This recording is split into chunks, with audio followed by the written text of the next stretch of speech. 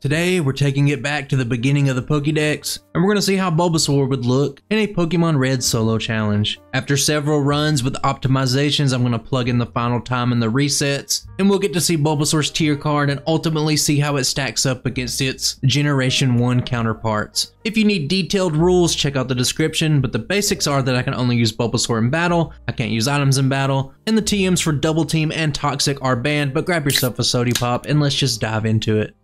Bulbasaur is universally liked, but it was actually a pretty frustrating run, and I'd go as far to say that I didn't particularly enjoy my first playthrough of this Pokemon, and before we look into the information to explain that a little bit more, let's just look at this first rival fight. Keep in mind this is the tutorial little baby battle, and it's not great. The idea here, growl once, hope for the best, but Charmander is just kind of like superior in every way. It's faster, it hits harder, and it has an upgrade with Scratch. Better in every single way than Tackle. This is not, this is far from a guaranteed battle, and this is one of those runs where you would just kind of like restart if you lost, but you're gonna see here that I barely survived by the skin of my teeth, and this is just like a little nibble, a little bitty taste into some of the underlying problems for the run in general. Now that we're beginning our journey proper, we can bring up that information. Let's start with the stats. They're not great, but that's not really unexpected for a base stage Pokemon. All but one of these stats are in the 40s, but it is what it is, and there's not really much to say about it other than it really doesn't help us out a whole lot. The level up moves is where most of my gripes come from, specifically with Tackle. I'll go into it more as the video progresses, but you have to solely rely on this move a lot and everything that's even pretty good is kind of held off into the later levels. Sleep Powder is kind of the worst culprit here. It's at a very steep level 41, but when you look at very similar Pokemon like Bellsprout, it gets Sleep Powder at level 18, and it makes you wonder why. Maybe they thought Bulbasaur and its entire line would be too strong with an early Sleep Powder? What do you guys think? As for the TMs, it's pretty basic. And coverage, that's not a word that Bulbasaur knows. All the damaging moves today are going to be either normal or grass, but there are at least a couple of standout TMs that will elevate our little bulby boy. Swords Dance and Body Slam, it's kind of like peanut butter and jelly, and let's just say that Bulbasaur, he's going to have a lot of sandwiches before this one's over with. So we started off a little shaky in the tutorial battle, but what about the first actual battles? In terms of a threat to knock us out or force a reset, you can see that the first bug catcher, it does some damage here and there, but when you got Leech Seed, you aren't in any real danger. But the highlight here, what I want to focus on, is just how long it actually takes. The first bug catcher is bad enough, but when you get to that second bug catcher, he has a Kakuna and it really stalls things out. If you're thinking about this,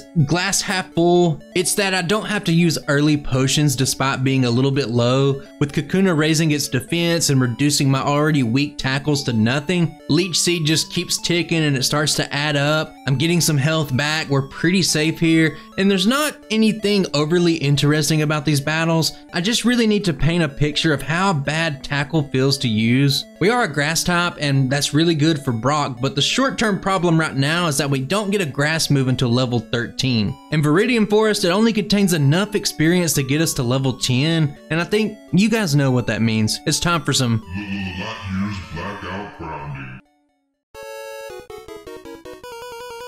Most of you know the drill by now. Trainers give 50% more experience over wild battles, so by taking this quick 190 experience from knocking out the Diglett and then letting the Sandshrew knock you out, you have a repeatable source of experience that's much faster than the alternative. Bulbasaur does have to use Growl to get by the Diglett at the start of this grind, but it is doable and that's the really important thing. Something else I haven't mentioned is that I, I completely redesigned the overlay, and I'll touch on some new features here and there if I remember to, but let's let's kind of start with the Sandshrew. It's got that dreaded sand attack in Pokemon Red, so you're gonna see me get hit with the sand attack here. And finally, after years of doing this video and talking about sand attack, I can actually visually show you guys a percentage number of how it feels to get sand in your eyes. I get hit with two here, and you can see that the accuracy is gonna change, but when it's less than 50%, it's gonna turn red. That indicates my rage of just having so much sand dumped on me. And while that's not interesting to everyone, I love this little change change here. I love that I was able to code it in. Overall, I guess the main thing is that it's just visual, like from a viewer perspective. And the ultimate goal for me was readability, just to make it look nice, clean, visually stimulating. So feedback is welcome. I would love to hear what you think about it. But on the back end of things, I cleaned up thousands of lines within the code. I added a bunch of stuff and it was just a big project. Now, if you are interested in that kind of stuff or other aspects, or you just want to hear me talk about it, I suggest watching the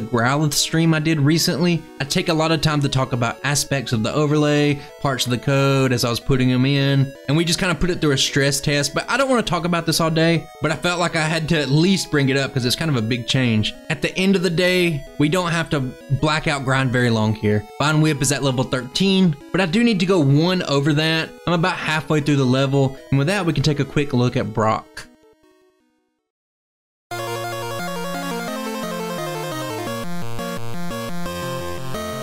I guess it's just tradition to show the first gym leader's card, but we all know it's kind of like a farce. It's really not needed. With Vine Whip, this is just a matter of two easy one-shots. I didn't have to heal, and even if the Onix does its absolute worst, like critting on a tackle here, this one's just over quick. Bulbasaur already on its way.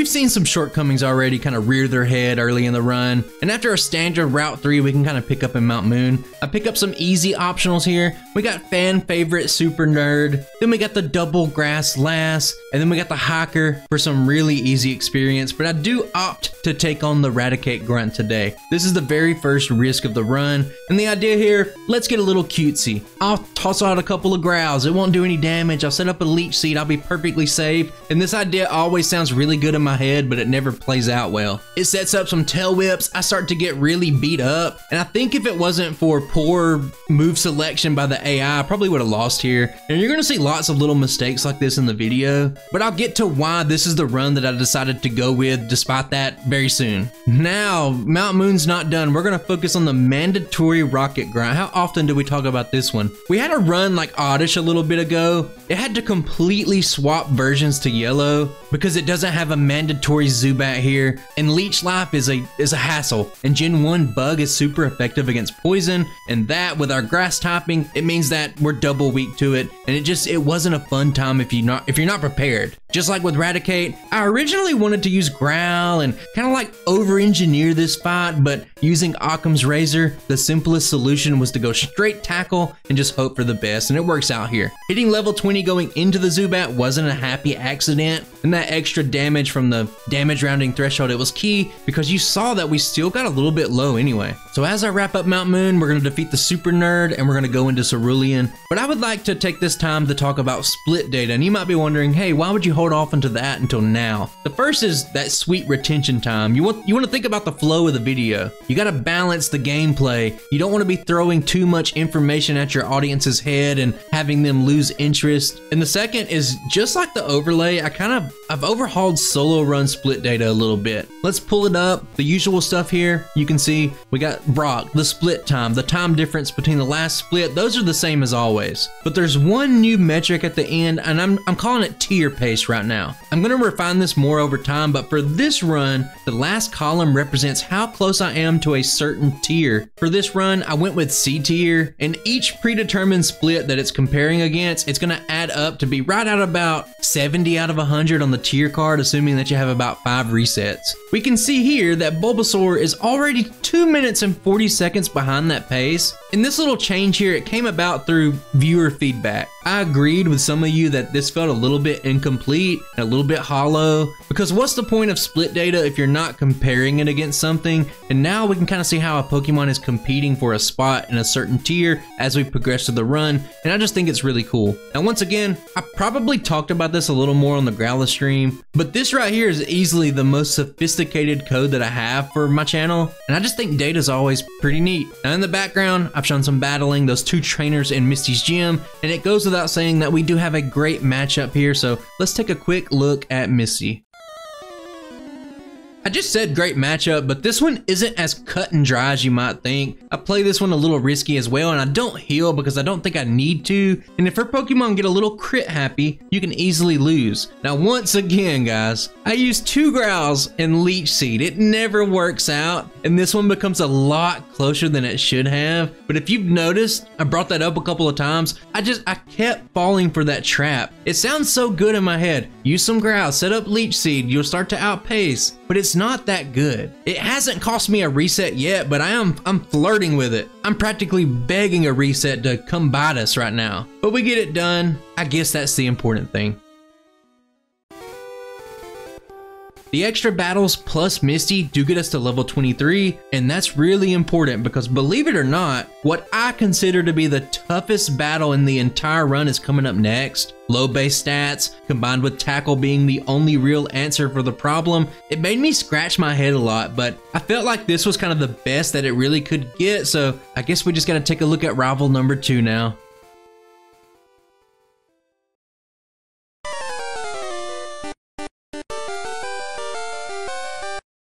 The big problem with this fight isn't sand attack, it's tackle. Sand attack is just a product of tackle being so bad. Now level 23, the first thing it does here is it lets you outspeed Pidgeotto, and it actually gives you a chance, but it takes so many tackles to take this thing down, it's almost inevitable. The reason I picked this run overall, when we see everything through until the very end is because I don't get hit with sand attack here. It takes me about 13 tackles to take this thing down, sure, but it never uses sand attack, and I've never seen this in any of my practice runs or tests for this. This is the only time this happened, so I was gonna take it and I was gonna run with it. Since it does go straight damaging moves, that means we get pretty low. We're in the yellow health, but thankfully, for the one time in this run, Leech Seed is actually great. Abra only has Teleport. It can't do anything against us. So what I'm going to do here, this is going to be very slow. I'm going to toss a Leech Seed on it, and I'm pretty much going to use Growl. I'm going to let Leech Seed tick every turn. I'm not going to manually attack, and I'm going to use Abra as kind of like a pseudo potion, I guess. Kind of like leftovers. This is going to get me back up to 54 HP. I'm looking pretty healthy. And grass moves, they're really not good early in the game, but against something like Rattata, it'll do the job just fine. I can take it out. I even crit just for good measure to make it as painless as possible. And at the end of the day, we have Charmander. Now, thankfully for this fight, the rival doesn't have good AI yet, so it won't go straight Ember, which means we have more than a chance here. We actually take the battle, it goes for Scratch. And you can see that when it does use Ember, it doesn't do that much. And we take this one a little bit slow, but no resets, not seeing a sand attack. It was a very rare occurrence, and I'm happy to see it. So as for Nugget Bridge, there's not much you can do. Single highest cluster, you already know you want to make this as fast as possible, but Bulbasaur just it simply can't. I'm not going to keep showing split data a lot, but I would like to say that after the Misty split, the time pace did increase even further, so we're now 3 minutes and 27 seconds behind. So it's looking like at this point on, it looks like Bulbasaur would be in the D tier. And there's no reason to look at every battle on Nugget Bridge, but we will just kind of let it play forward a little bit here, and we'll go into the Nugget Lasses who have Pidgey and we're actually going to see Sand Attack. It's not great. We've already seen how it affects the accuracy on the overlay, but something I didn't talk about was how I did stage modifiers. They're not always visible, and you're going to see when I get hit with a Sand Attack, over where I keep the crit rate, you're going to see a red one. Obviously, red's going to be negative. If, when it shows green later in the run, it's going to be positive. That was a little bitty change as well. If I do something to the enemy like Growlithe, you'll see the same thing on their side of the stat screen. You can also see the hurt Bulbasaur sprite. I drew a lot of little hurt marks and stuff to put on it just to upgrade it a little bit, but let's not talk about that too much. Nugget Bridge is pretty standard, but it is a little bit slow. But before we take it down to Vermilion, I would like to talk about the Dig Rocket Grunt. I bring this one up even in like really high tier runs like Mewtwo or our current fastest run on the channel, Alolan Ninetales. The Drowzee has Hypnosis and it can just waste a lot of time, but in Bulbasaur's case where it's not very good anyway and it's weak to Psychic, you gotta just roll the dice and just whatever happens, happens because you can't do much about it. Just like Nugget Bridge, you can't really speed it up. All you can do here is just hope that it doesn't use confusion too much. That alone isn't really the problem. You could probably still outpace it, but if it uses hypnosis, it's pretty much a done battle. But just like rival number two, we get a pretty fortunate battle. But the headaches and kind of planning around this kind of stuff, it's, it's worth bringing up. And speaking of bringing up, we got to talk about the triple Pidgey Junior Trainer. The things to really know about this fight is Sand Attack is on the table for all three Pokemon. You would need to be about level 28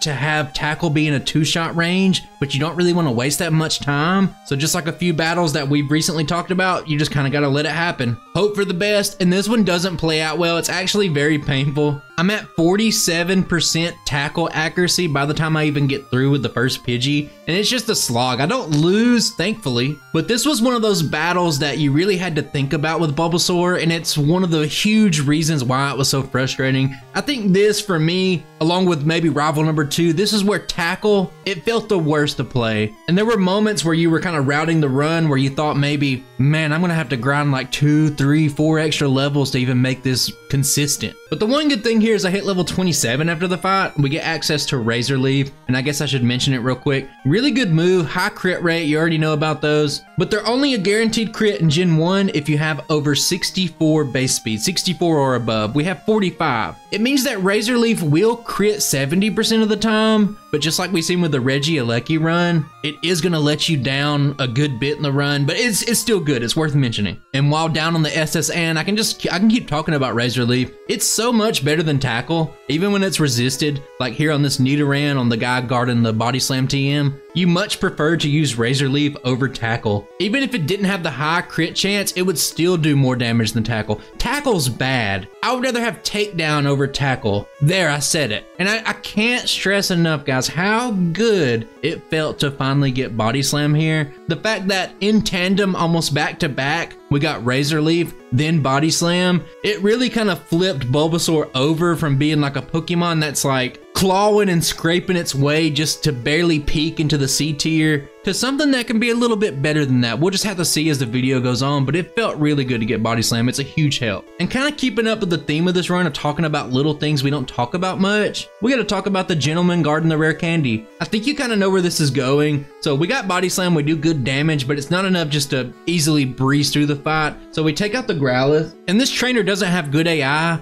Ponyta's just bad, it only knows Ember. And I brought this up in a video before, but getting burned right here feels so bad. I just don't bring it up a whole lot because it just doesn't happen. I would say once every few months maybe, and you gotta think that I make four or five videos a month, and within each video, I'm doing like three or four runs each. So it just doesn't happen much. And this forces you to use the full restore that you find going down to Vermilion. So it kind of puts you behind in that aspect as well. And it's just like another one of those little things that kind of went wrong with the run. But how lucky we got in fights like rival number two really offset that. But enough of that. We need to talk about rival number three. And I took another pretty big risk in this one as well. This is the next risk of the run. The huge improvement obviously is going to be tackle. I got rid of tackle. I didn't even keep it. Two body slams will take out Pidgeotto. It means it only has one chance to use sand attack. We don't see it here. Great. Fantastic. I'll be happy if we never see another sand attack for the rest of time. So I progress through the fight, but I do take damage. I'm about half health, and the risk I took is that I don't outspeed Kadabra. Thankfully, it can pick teleport. That's what it does, so I pretty much get a freebie here. The risk doesn't cost me, but at the end of the fight, this rival now has good AI. It'll only go for Ember. One body slam does put it in retroactive potion range, which is great, which means we just win the fight. But even if it got off an Ember, I still think we could have survived. But mainly the Kadabra outspeeding us, having that confusion, high crit rate, it could have been a problem. But just like rival number two, we make it through.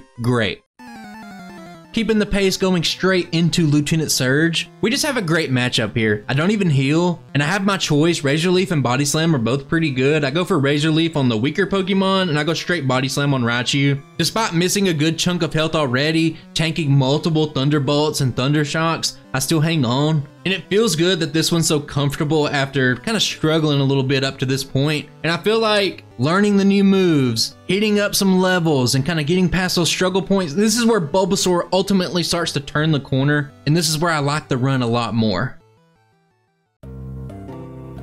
And I'm not going to keep bringing up split data, but I will talk about it just because we're on that C tier pace. It's a very important metric, I feel like. We were three and a half minutes in the hole after Misty, and even with Tackle, we were able to make up a lot of time on the Lieutenant Surge split. So at this point, Bulbasaur is pretty much dead even with that pace. It's actually about 36 seconds ahead, so we'll see kind of how that holds up. There's no reason to look at Rock Tunnel, it's incredibly easy, and instead, we can just pick right back up in Celadon. I decide to take on the Rocket Hideout first. I'm gonna grab a PP up in here, just because there's a couple of parts where only 15 body slams isn't enough to make it through without having to make an extra trip or maybe use an elixir or something like that, so it helps. And it's worth noting that Erica is a 100% free matchup, and you might be wondering why not go there first, get the levels? And the answer to that is I can just come here, it's really easy, nothing's hard about it. And even though Erica might be free, it takes a long time because her Pokemon are just higher level. I think this is the overall faster route, and the only real problem here comes in the Giovanni fight. You wouldn't think that we would talk about the Giovanni fight for a grass type,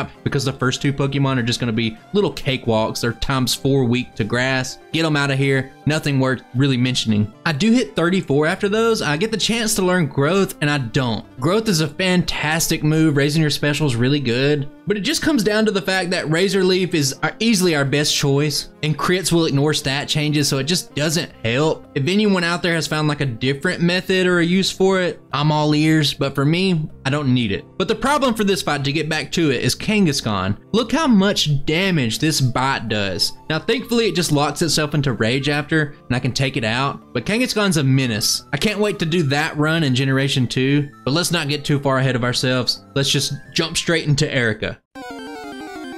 And the reason this one is so free is because of good AI and our grass typing. She will only spam poison powder on the Victreebel and it just makes it free. I just wanted to be at this level 35 damage rounding threshold just to make it quicker. The only thing kind of immune to that is the absolutely pathetic Tangela. But funny story, in practice, it used Constrict, dropped my speed, and Perma bonded me down to zero, and it was very frustrating to see. Thankfully, we don't see it here. I actually, if you want to know how much I respect Tangela, I actually use resisted Razor Leaves just to make sure something didn't happen and I didn't run out of body slams. You can see it still does pretty good damage. But at the end, it's just Vileplume. Same story there. It's going to go for Poison Powder until it dies. And it's just a free badge, and that's the best kind of badge, I think.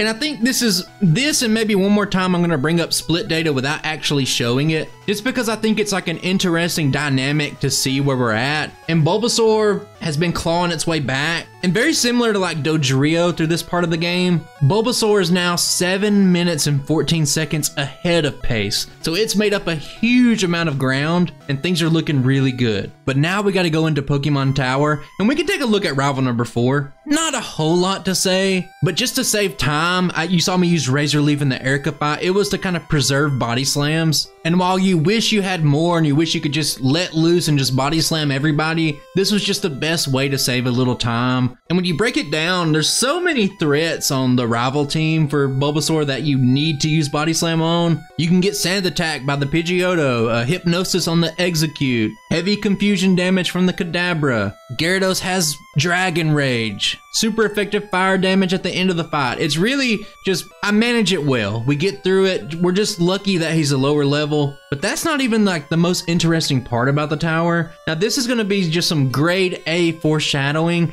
and we gotta take a look at the channelers. So we're gonna see here a great opening. What you wanna do is have two Razor Leaves crit and it, it works out fine. We crit, does a lot of damage, but we get licked and we get paralyzed. And what this is gonna do is start a downward spiral of death that our little Bulbasaur just isn't ready for. Missing turns due to paralysis, taking Nightshade damage, little lick chip damage, and Confuse Ray hurting herself. It's just, it adds up. It's really not good. And you need to know right now that Bulbasaur does not have a great answer for ghost types. And I wouldn't say you need to get lucky to win these battles. I would say that you need to not be unlucky. And right here, we get unlucky and we're to see the very first reset of the run. And it might sound surprising, but this is one of the worst parts of the game for Bulbasaur, honestly. It's just kind of frustrating because you can see on the next attempt that we're successful at, we don't really take any status, we don't hurt ourselves. They pretty much go straight Nightshade and we get really low down into the red health despite everything, getting pretty much exactly how we want. But this first channeler here is so bad because she has two Gastlys. The other one's not too bad, but Pokemon Tower actually getting some video time this week. Good job, Pokemon Tower. You did it.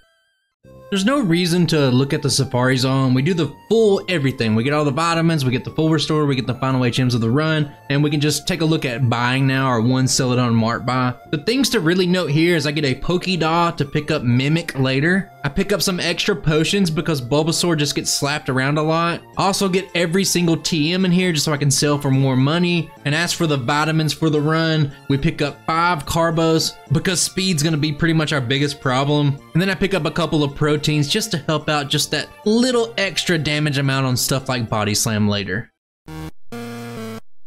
And now we're gonna transition into what we've done on the channel a couple of times, what I like to call a half Silph. I do some of these standard things like go pick up the Carbos and the rare candy on the 10th floor, then I follow the traditional path to get the card key on the 5th floor. I pick up the protein there as well, but the big prize, like you probably could have already guessed, is Swords Dance. Even though our only physical move we're going to be using for the entire run is Body Slam, Swords Dance, it makes a Pokemon that, you know, it Body Slams something and it goes, haha, that tickles, to making Bulbasaur hit like a Mike Tyson in his prime punch. To say it's a game changer would be an understatement. Now there are two additional battles that we need to pick up here, and I just go ahead and I pick them up on the third floor just to make the backtracking here a little bit quicker. It's worth noting that on the first grunt here, it's the double Raticate Hypno grunt. I do set up two times just to make this a little bit easier because Hypno's pretty scary when you're weak to Psychic. You never know what it's gonna do, so just, if you can help it set up, just one-shot it. Also pick up the Scientist. It's the one near the Hyper Potion, right near the rival number 5 Warp. Those two things help us get into an experience range for later because in a run like this where you're weak, you have a little bit of a badge boost going on, setting up your experience and hitting certain levels and leveling up at the right time, it's one of the most important things in the entire run, and this is like our first step to kind of make the dominoes fall where we want them to going into that late game.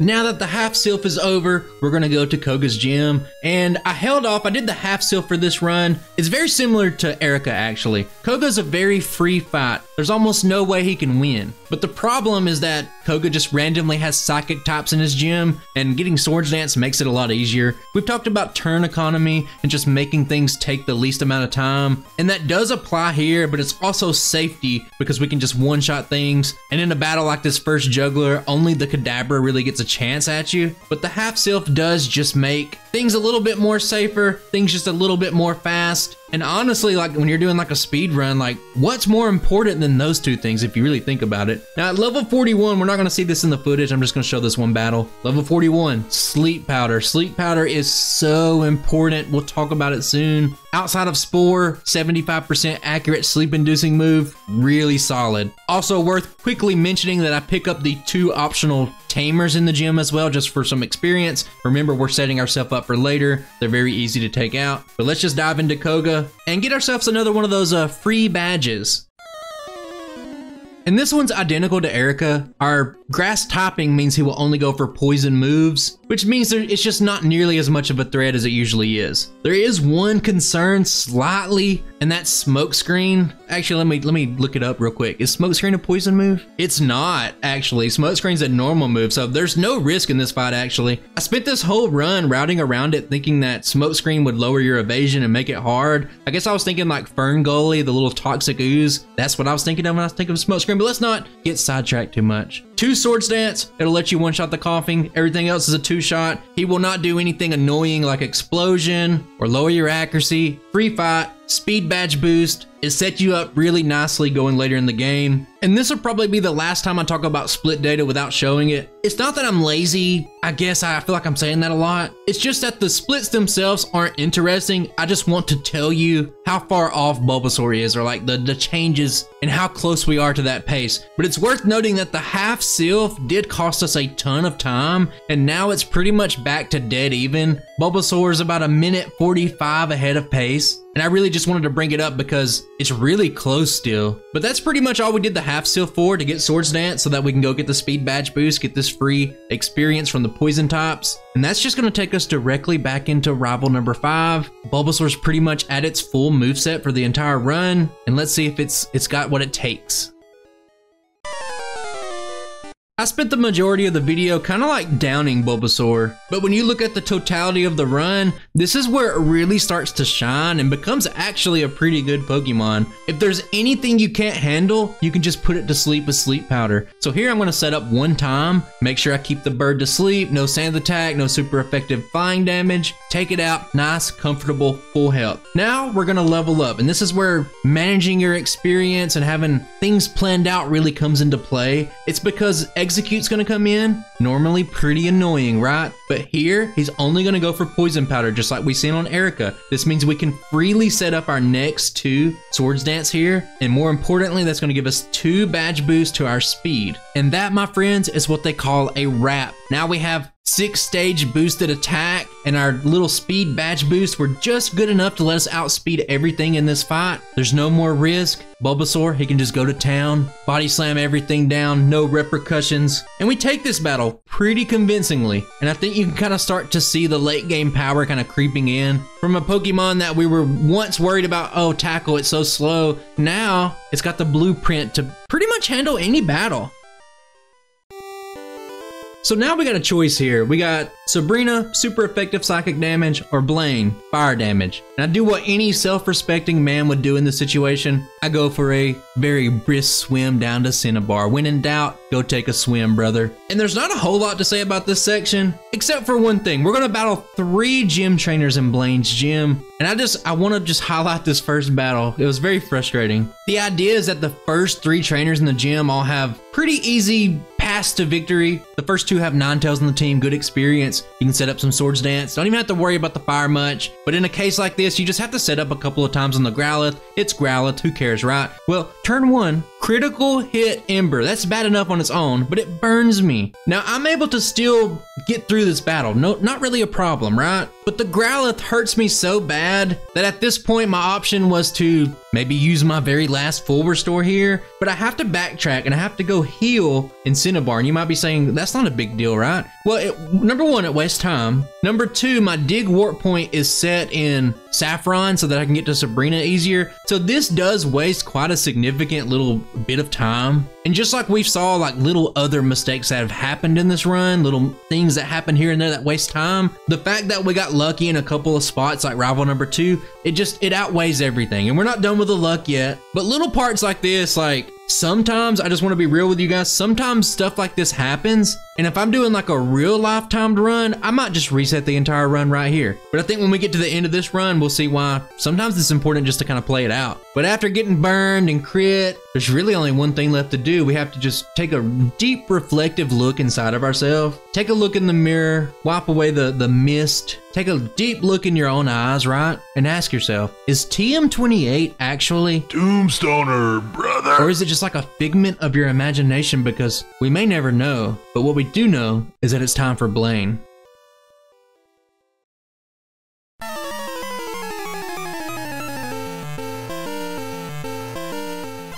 As far as the Blaine Monster goes, this is another spot where I had to take a risk. Growlithe is cool, Blaine doesn't have good AI, so it'll just go for whatever, so you could get lucky here. And we do for the most part, but for the second time in the run, we see a Growlithe crit with Ember and it does a lot of damage, but at this point we have set up to our plus six, and we're gonna start the body slam party. And you might be wondering, what's the risk? Because you're gonna see me body slam the Growlithe, the Ponyta, the Rapidash, they're all gonna go down because we outspeed, but the risk here is that I level up right after the Rapidash. This means that Arcanine will outspeed us, and it's pretty much just up to luck. Going for Sleep Powder is the safer play. We can tank one Ember, but our Sleep Powder misses, and we go down for the second reset of the run. Now, there's not much else to really cover for this fight. It's going to play out the same exact way, but this time Arcanine goes straight for that Fire Blast, but it misses. We connect with the Sleep Powder, and with the boost, we can two-shot the Arcanine. And now there's pretty much only one place we can go, but first I am going to take a little quick pit stop. We're going to pick up Mimic. It's going to be all important for this run, and that's going to take us straight into Sabrina. And there's no real need for an introduction for her. It's pretty cut and dry. We have 91 speed, Kadabra has 90 speed, all by design. And I gotta tell you guys that Body Slam has about an 88% chance to one-shot it. And of course, I don't get the range here, which means I'm gonna take a Psybeam. It's gonna do a ton of damage. And things, they're not looking really good from the start. Nothing's going like the way I drew it up. So Mr. Mime comes in and I get kind of like a little happy accident here. I go for Body Slam. I didn't mean to. I need to set up two more times. But what that does is paralyze it. And what that amounts to is I get a fully paralyzed turn. It uses light screen on another turn. And when it finally does use confusion, I'm set up fully, which means I can survive even though I'm already low. And just like we seen earlier on the fifth rival fight, the speed badge boosts are gonna come in clutch. We have enough damage now to outspeed everything. We can one-shot everything. In a battle that was really hard on paper, that didn't really go our way. We took a lot of damage. We didn't get the ranges we want, but we still get out of here. We got the seventh badge. Things are looking pretty good. After the battle, I do use a single rare candy. It's very important for experience ranges for the next few fights. There's not really anything to talk about. There's no extra training in Giovanni's gym. And I think we can finish this little gym blitz that we've had going on straight into the eighth and final gym. Now with this one, I'm pretty sure if you really wanted to, you could just go straight Razor Leaf and be just fine. But I decided to set up just to make things a little bit safer because the run has been going pretty well up to this point. So I get to my plus six, I Razor Leaf the Rhyhorn, I Razor Leaf the Dugtrio, they go down easy enough. And the setup here was pretty much just for the Nidos. This allows us to get a really high percent chance one shot on both of them. The Nidoqueen is a little bit more bulky, so I'm glad I hit it here, save a little bit of time. But at the end of the day, it's just Rhydon sitting in the back. This thing's about to fold like a little piece of paper to these little sharp-edged leaves. And that's the eighth badge down. There's nothing else to talk about, and instead we can just jump straight into rival number six now. And everything's been pretty meticulously planned out from the rare candy usage to the extra trainers. And this is a good setup for us, despite having the top advantage in the lead. Pidgeot now has agility, so we can use that as well. And that's what we see here. We do connect with the sleep powder, and we don't want to set up for this fight right now anyway. So we got to do things the old fashioned way. We take it out slow and steady. Rhyhorn is next. You already know what a Razor Leaf's going to do to this thing, so let's move on. The important thing is that after it, we level up. That's exactly what we wanted, and just like in the rival number 5 fight, Exeggcute's going to come in. It only goes for Poison Powder, so that means we get that full setup. Every little ounce of badge boosting that we have is going to stick. The speed's important. Even the special's pretty important in this fight. That sets us up in a very nice way just to body slam through everything. Gyarados goes down. Alakazam, we outspeed. See ya, bud. And at the end, it's Charizard. And something I overlooked for this fight is I just figured, hey, plus six on your attack, you outspeed it, easy, done deal. But that's not the case. There's only like an 11% chance the Charizard will go down in one hit. You pretty much got to crit, or you just got to hit like the little tippy top ranges. We don't hit it here. And remember, as I'm playing this, I didn't know this this, so it really surprised me, and it goes for the flamethrower. But like I said earlier, this would normally just obliterate Bulbasaur, but since we got some badge boost to our special from Blaine's badge, that means we can hang on. That lets me put the finishing touches on the battle, and now there's only one more destination, my friends.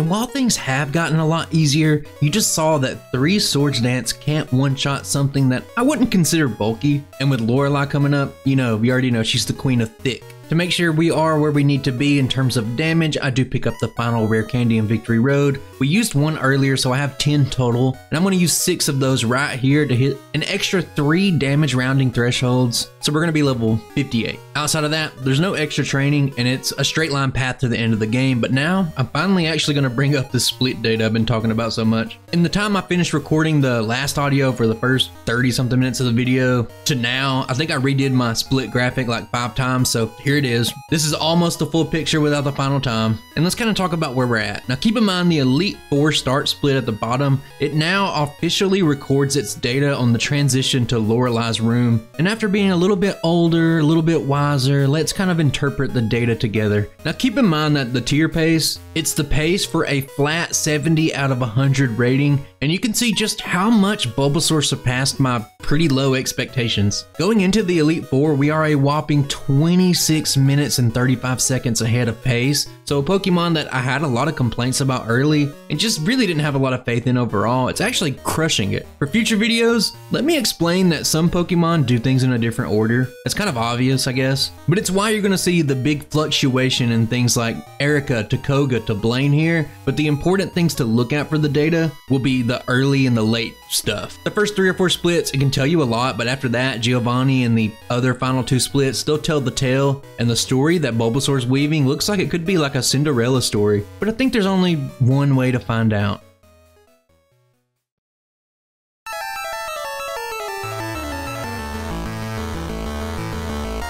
Lorelei's first, and the typical strat here would be to damage it, make it use rest, and then set up, but Bulbasaur has Sleep Powder, and it's the great equalizer. Level 58 here ensures that I can one-shot the Dewgong after the setup, and once you get there, Razor Leaf can kind of take over for a bit. Cloyster only has defense, it goes down. Slowbro can take some hits, but good AI means that it's only going to spam Amnesia, and the damage and speed boost they let us easily handle the Jynx, but Lapras is kind of a bit of a coin flip. The odds are in my favor, but you just you can't one-shot it no matter what. You can play it safe, you can use sleep here, or you can do like I do, you can you can just dare the computer to either crit you or freeze you in its one turn, but here we just hit the paralysis, it misses its turn, and that's the battle over. So going into Bruno, I think I'm just going to talk about Lorelei more. Now if you want me to just quickly summarize this fight, you can go straight Razor Leaf and be just fine. How fast this battle is kind of depends on the crits, you have a 70% chance, and it doesn't go perfect here, but it is easy. But in Lorelei, the extremely simple answer to most problems you have with her is just to force Dewgong to use rest, setup. I don't I can't even count how many times that we've seen it on videos in my channel. And, you know, I'm friendly with a lot of content creators. I watch a lot of other videos, and I think it's just weird to see people, you know, tell me, hey, I watched the video and it was good. But when you watch their videos, it's like they never even heard of that strategy. And I'm confident in kind of saying this because those people never make it this far into the video anyway. But you need to up your Lorelei game, brothers. For those of you still here, don't do runs where you just look like a scrub on Lorelei. I've given you the alley oop. I've just tossed it up there. It's right there. Just dunk it. But after the fight, I used the four remaining rare candies and shout out to Razor Leaf. Everybody give a round of applause for Razor Leaf. I really like using this move, but it is time for Mimic to replace it. We've seen the Gastlys earlier. They were a problem, so what's going to happen with a team of upgraded Ghost?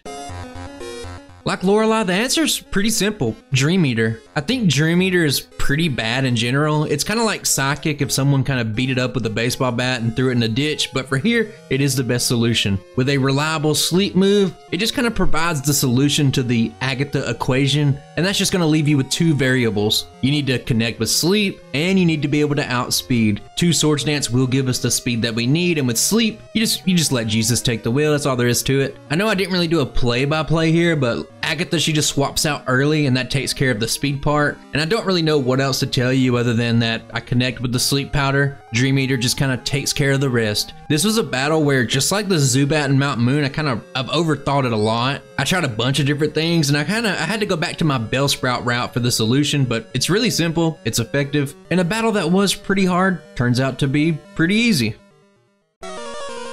With Lance, it's similar to how some of the rival fights went earlier. We have to take Gary out the old fashioned way because setting up now, it's a fool's errand. I do use sleep powder, I kind of smack it around a little bit, and then I take Hyper Beam because it's always fun to take Hyper Beam. I love doing it. And the reason that I'm not setting up here is you can see down that little XP meter down on the bottom. It's because I'm going to level up directly after. From there, this is one of those late game spots where Poison actually becomes a really high tier defensive typing because the Dragonairs are only going to spam agility. And just overall in this fight, Aerodactyl is about the only thing that's actually able to do damage to us. This lets me set up the full complement of Swords Dance, it buffs up our little piece of lettuce, and more importantly, it puts us over 170 speed. Now from there, I can just sit back, I can just let Hyper Beam take it. You got this, bud. Plus 6 means that even resisted damage can actually one-shot the Rock Bird, and if he didn't stand a chance, then come on, you already know that the Dragonite is going to meet the same fate, and Bulbasaur kinda killing it right now, but there is one final battle left.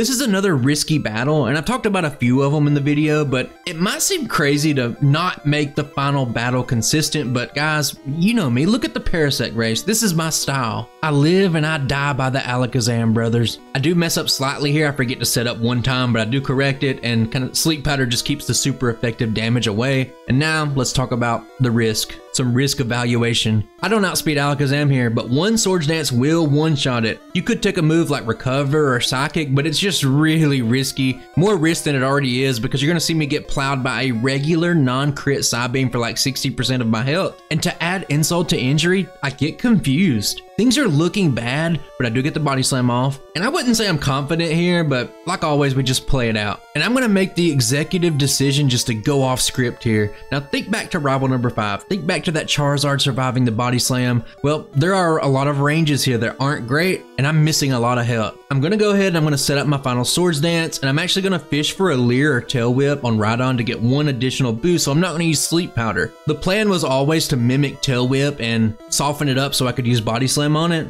but keeping it awake, which is the new thing I just thought of on the fly, things get a little chippy, they get a little close. Remember that I was still confused, so I avoid hitting myself, which is great. It would assuredly be a reset. And just look at the footage, it takes so long to actually get a tail whip to land. This thing's just not doing it. We're getting chipped down, we're in the red health. It's just, it's either missing or just going for other stuff. But eventually we get it, and that's really all we need. With six stages of lowered defense, we can actually one shot the Rhino with a body slam. And even though you guys might not be able to see it yet, this one, it's already over. And let me just talk about the badge boost glitch. It's just, it's one of my favorite things in any game ever. It's just a, it's really fun. It's a fun mechanic for me. It's really insane if you think about it this way. Before that tail whip, I had a 30% chance to one shot, a 35% chance to one shot, and a 70% chance to one shot the last three Pokemon respectively. But that one little teeny tiny tail whip, it gave us that 12.5% boost to attack, and it means all those numbers are now 91 0.2% chance, which means the only way we can fail here is if we crit. And I know I didn't really commentate the rest of the battle, but I did cover what was important. I felt like the one-shot ranges and the tail whip giving you the numbers was the important part. And the last thing I'll say is, I just, I never get tired of seeing like a low, weak base stat Pokemon pre-evolved just sitting there bulldozing its direct counter for a one-shot in the final moments of the run. And that's the run over.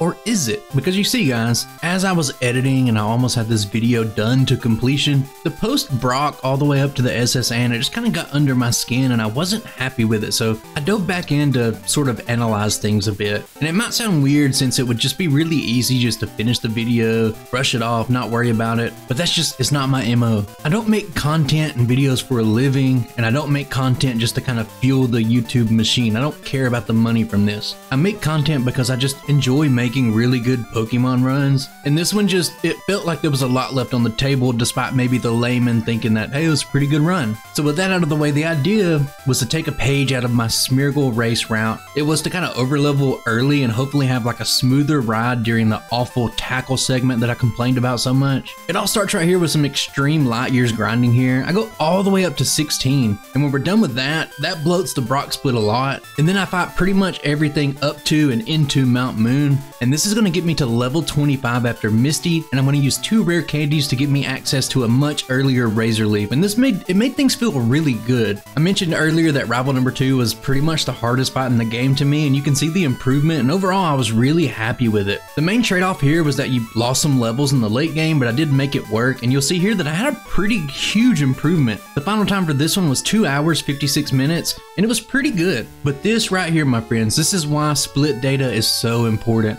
When I was just looking over the data, the improvements were mainly from better play, and the bloated early game was barely a factor. So once again, I kind of wiped the slate clean and I went back to the drawing board. So this time, I skipped the early bug catchers and I essentially did the same exact Brock split that I did before. I don't have resets on here, I forgot to put them up, but I did track them. We'll talk about that at the end. And I will say that going to the Light Years Junior Trainer is extremely difficult at level 8, and I did have to reset a few times to get the run I wanted. But overall, this actually gave me a minute improvement over my fastest Brock split. From there, I still pick up a lot of extra trainers at Mount Moon, and rather than be level 25 after Misty, I just gutted it out against rival number 2. I did take a sand attack, but I slogged through it on my first try, and this is where I hit level 25 now. This gives me access to Razor Leaf, and overall it only cost about 3 minutes over the fastest split that I had. The extra levels, it made things feel really good, and this route doesn't really differ too much from there, but a crucial decision I made down the line this time was to cut out the Silph trainers, the Blaine Gym trainers, and pretty much anything extra that I did. I still pick up the Tamers and Koga's Gym to get my experience where I need it to be, and ultimately I'm going to have three resets in this run. One's going to be on Sabrina, I have one to Agatha, and there's one on the Champion, but you can see right here when we clock in,